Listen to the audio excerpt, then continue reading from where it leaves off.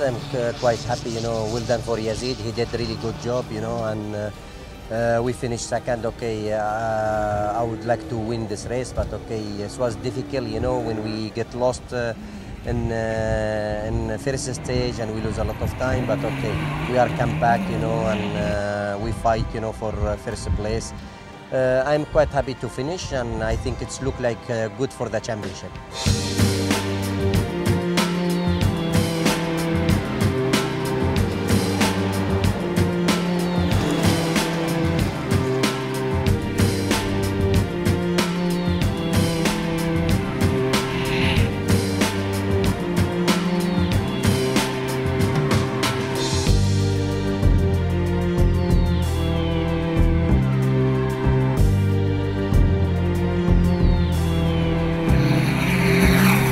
Of course, uh, we have a lot of race, but okay, I'm so happy, you know, because uh, Ooredoo support me and uh, Qatar uh, uh, government uh, support me behind me. This is the reason why I am doing a lot of rally and also still I have around 14 race.